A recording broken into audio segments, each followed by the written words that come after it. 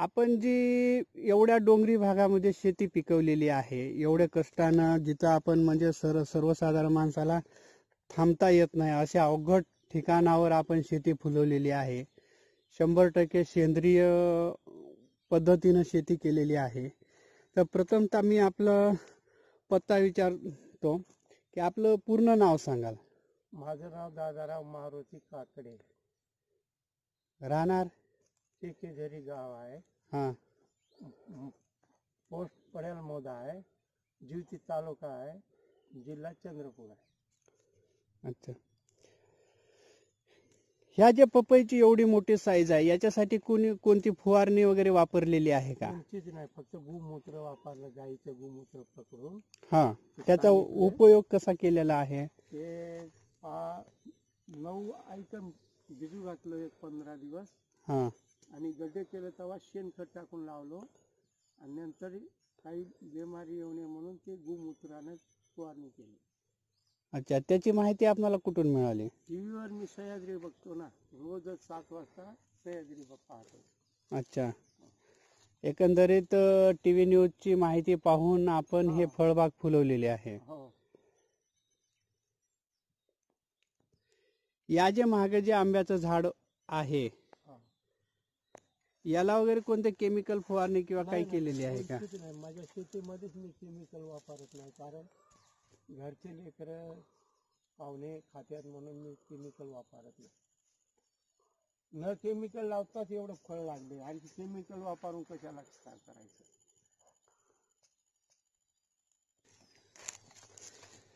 हे पाहू शकता किती डोंगरी भागामध्ये यांनी पपयाची कशी लाईनवार झाडं फुलवलेली आहेत. हा एकदम दरी खोराचा डोंगरी ज्योती तहसीलचा भाग आहे.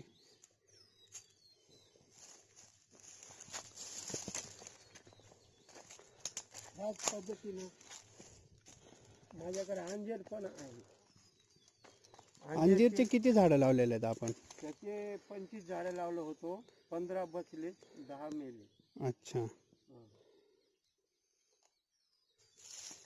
अजून कोणते फळझाड आहेत? हे आंब्याचे? हे का हे आंब्याचे सत्तर झाडे लावलं मी गेल्या वर्षी. मग त्याच्यापैकी किती वाचले आहेत? त्याच्यामधले वीस गेले आहे पन्नास आता जिवंत आहे अच्छा. या व्यतिरिक्त पुराणे झाडं मिळून किती आहेत टोटल आंब्याचे? आंब्याचे शंभर आहे साहेब त्याच पद्धतीने फळाच्या साठी दिलेल्या पाण्यावर स्वतंत्र पाणी न देता वेगळ्याने अशा पद्धतीने भोपळ्याचे झाडं लावले आहे- वेलं लावले आहेत आणि त्याचे भोपळे सुद्धा तयार झालेले आहेत.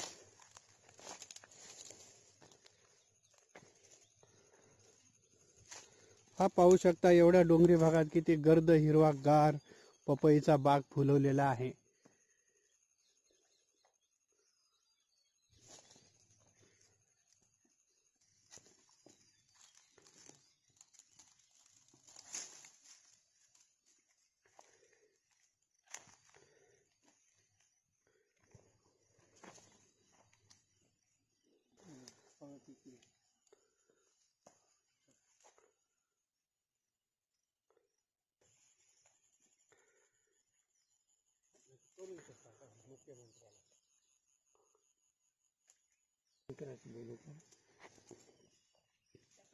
ते पण पाच झाडं लावले होते संत्र्याचे दोन मेले दोन चोरायला नेले एक झाड आहे वर्षाच्या साठी दोन दोन हज़ार फळ नाही ते अच्छा आणि संत्रा आता लागून पण दिसत आहेत. आहे ना आता लागले आंबिया भरला पुन्हा डबल आला आहे यावर्षी अच्छा मग वर्षातून किती सीझन घेता याचे? दोनच सीजन लागते दोन्ही सीझनमध्ये घेता का फळ? हो. आणि हे जे खाली भुईमुगीची शेती दिसत आहे ते? ते आपलीच आहे. अच्छा. हे कोणत्या महिन्यात लाव- लागवड केलेली आहे?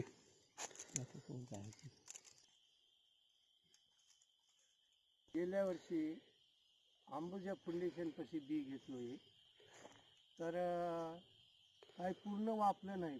फक्त पन्नास झाडं निघाले साडेतीनशे जर पाकिट त्यामधून. एका पाकिटात साडेतीनशे बी होतं.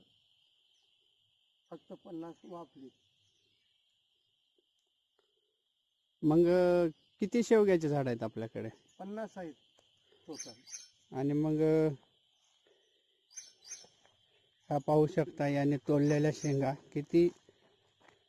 ह्या पण शंभर टक्के सेंद्रिय आहेत ना? हो. पूर्ण.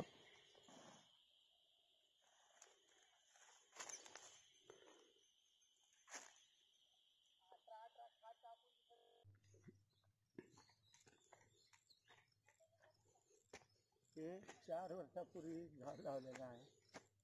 तर चार वर्ष झाल्याच्यानंतर लिंब लागायला सुरू झाली. आता हे फक्त कमीत कमी पंधरा ते वीस वर्ष झाले लिंब निघा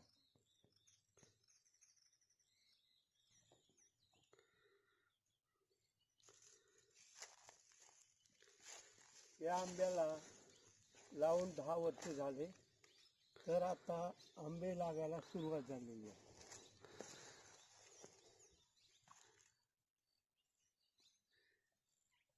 एकंदरीत असे किती झाडं आहेत? असे ऐंशी ते नव्वद आहे एवढ्या डोंगरी भागामध्ये पाणी देऊन नव्वद आंबे झाडं. अजून कोणते कोणते फळझाड आहेत? माझ्याकडे सर्व झाड आहेत. आंबे आहेत जांभूळ आहे. जांभळीचे किती आहेत? जांभूळचे दहा झाड आहेत. सुरुवात केलो मी पाहून. हा. पपईचे आहेत दोनशे. अच्छा. हा. अजून? संतर आहे. बोर आहे. बेल आहे. सीताफळाचे तीन हजार आहेत झाड.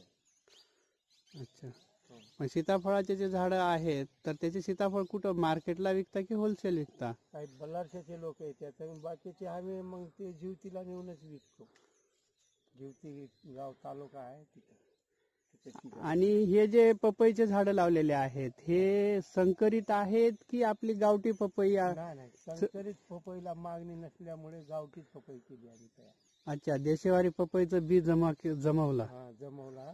हा. माझी सुनंदले गेले होते नांदेडला. त्यांनी देशातून नांदेडचे बी आणले. ती बी लावला आपण.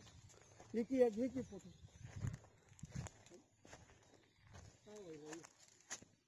काय रे? की रे लोक फुकट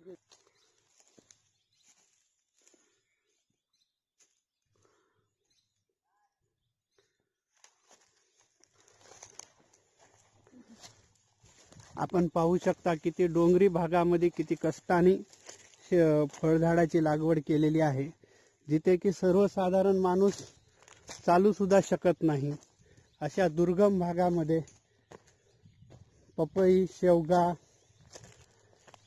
मोठीवाली जांभूळ आंबे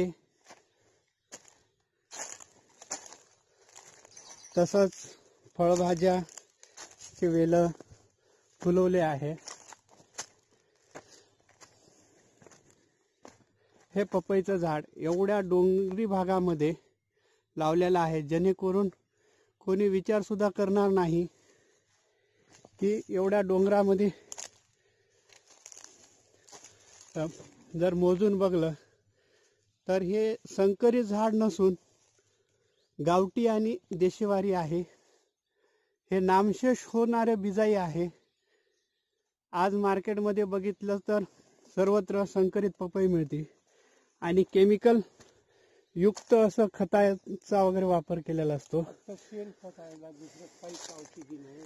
परंतु दादाराव काकडे यांनी ज्युतीसारख्या अतिदुर्गम भागामध्ये केवळ शेणखताचा वापर करून देशवारी पपई पिकवलेली आहे.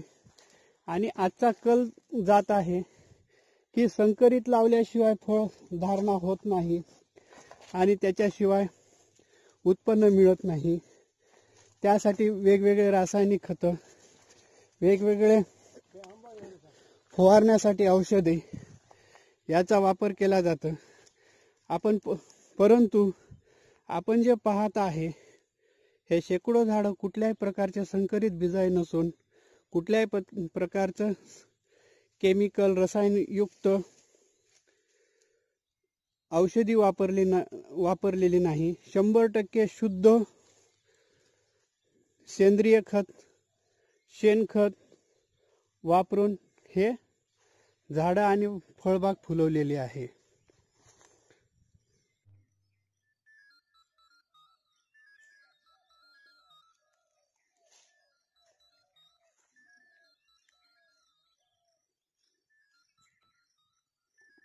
बाबा.